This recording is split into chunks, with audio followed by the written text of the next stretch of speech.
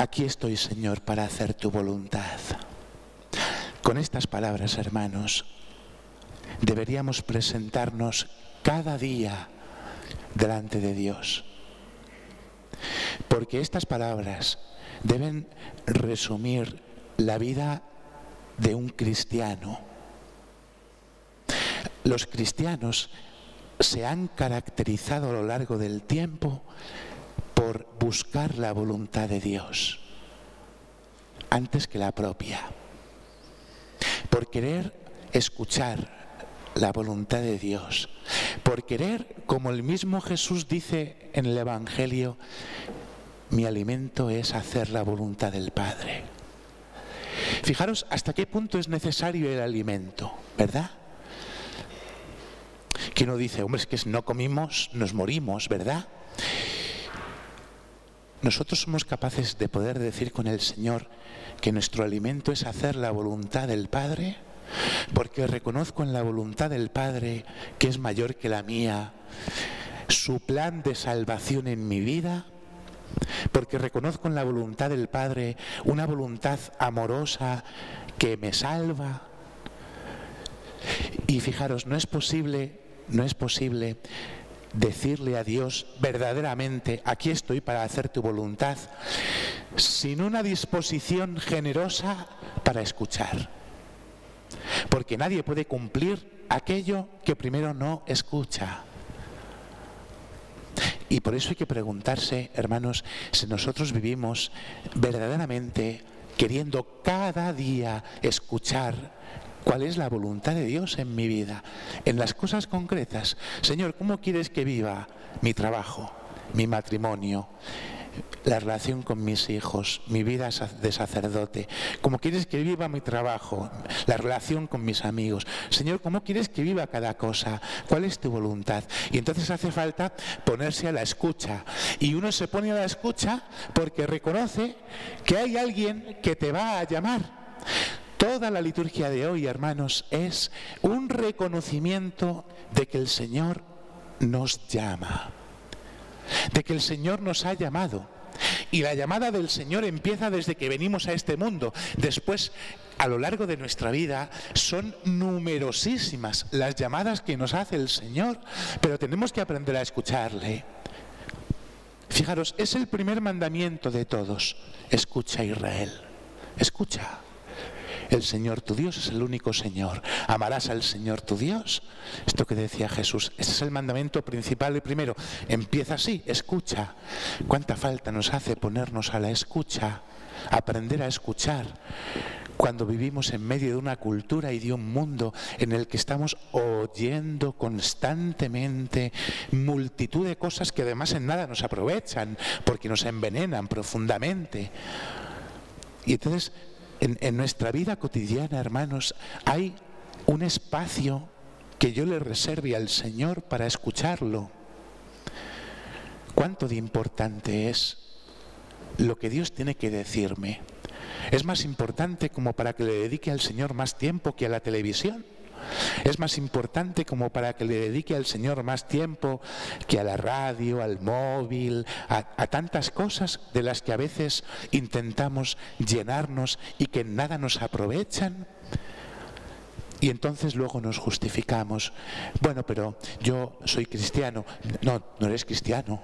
Los cristianos son los que hacen la voluntad de Dios, los que viven pensando que van a misa, que rezan, que pero no hacen la voluntad de Dios, esos no son cristianos. Piensan que lo son, pero no lo son.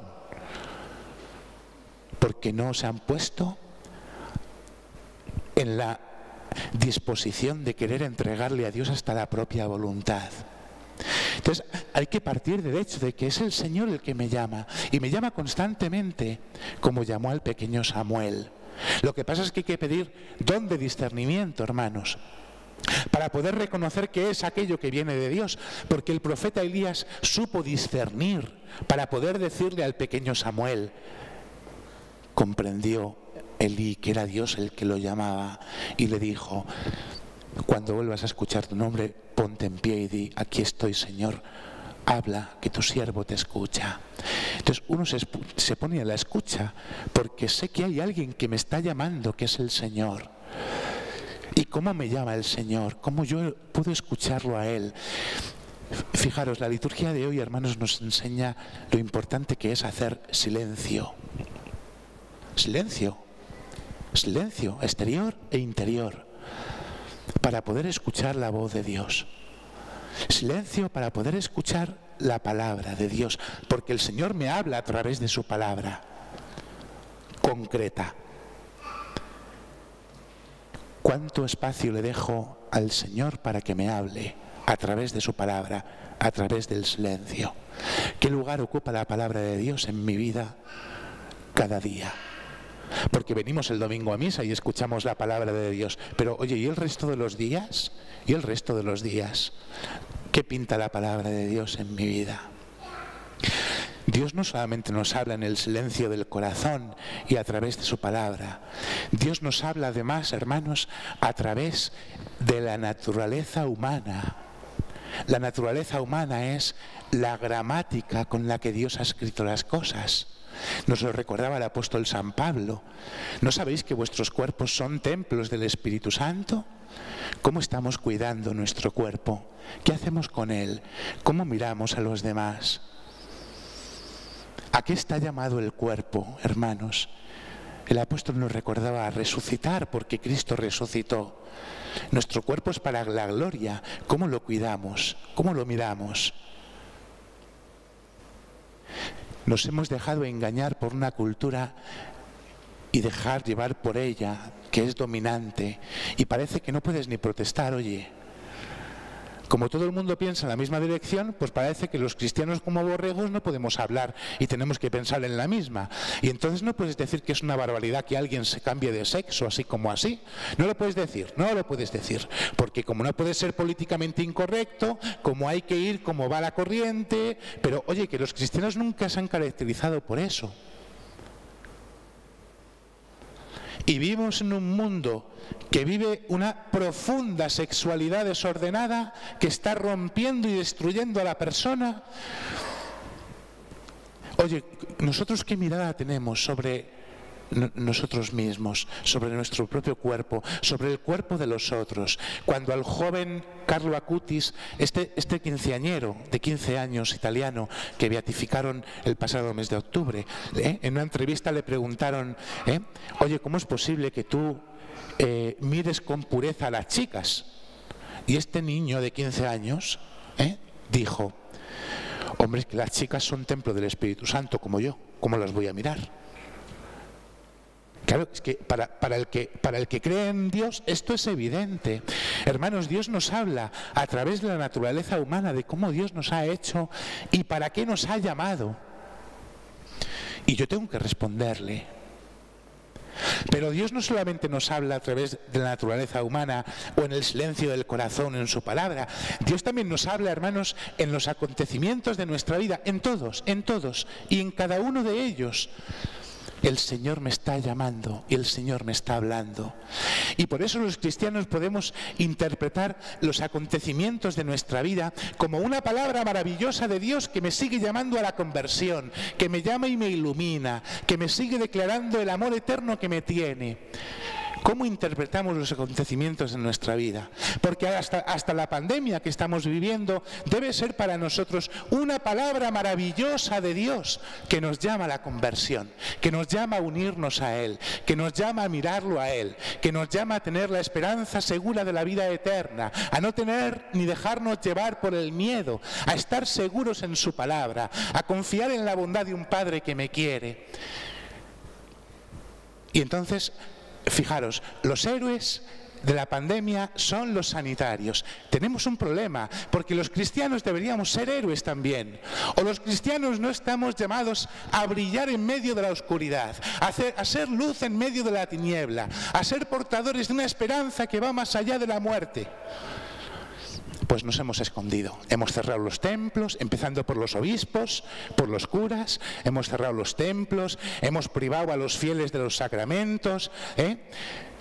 Pero, pero cuando la iglesia dejó de ser luz en la oscuridad, si lleva dos mil años en pie, precisamente porque en medio de las tinieblas ha brillado como un faro de luz que sigue ofreciendo una esperanza que el mundo nunca podrá ofrecer.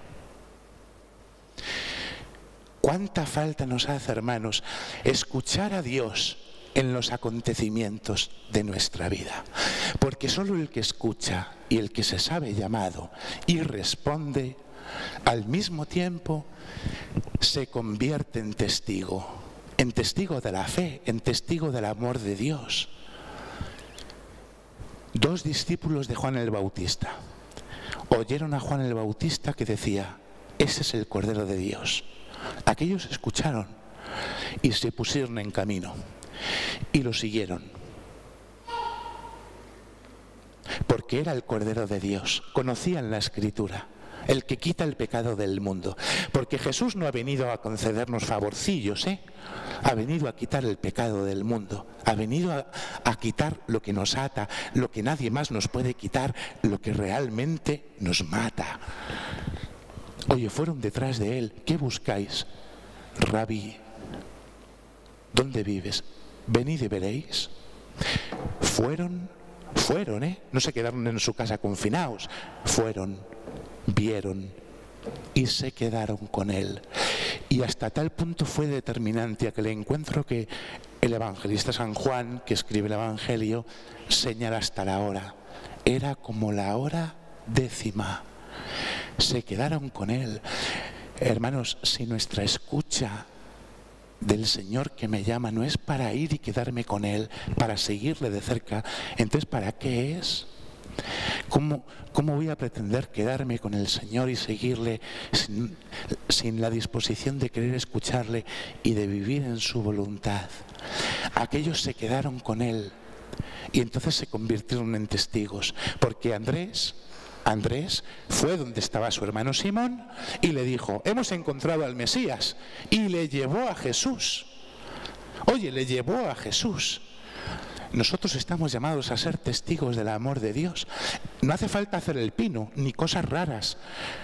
De, una manera sencilla, concreta, concreta. El otro día, el, viernes, con, con mis padres, que están preparando su mudanza porque se van a vivir a Málaga. Y entonces tienen la casa llena de cajas. ¿eh? Y, entonces eh, me contaron que habían contactado, contactado, con una persona que les puede hacer la mudanza, ¿no? Y entonces se presentó ahí en mi casa eh, y entonces viendo un poco lo que tiene que transportar y demás. Y, y entonces mis padres me decían, me contaban que, no, le preguntamos que, oye, a finales de enero, ¿qué, qué días podrías hacernos la mudanza? Y este hombre, que no les conocía de nada a mis padres, ¿eh? O sea, no, se conocía de nada, este hombre respondió, cualquier día menos el domingo, porque la misa es sagrada.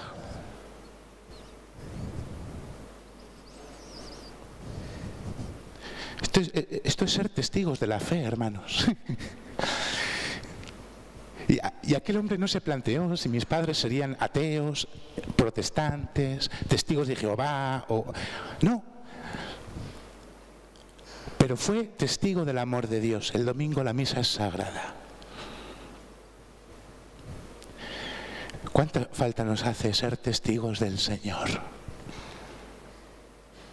Para poder manifestar al mundo la luz que nosotros hemos recibido de Dios.